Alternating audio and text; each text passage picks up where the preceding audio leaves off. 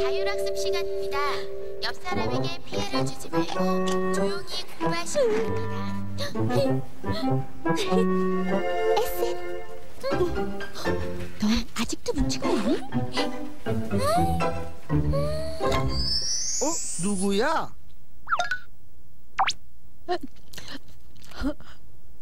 두두두?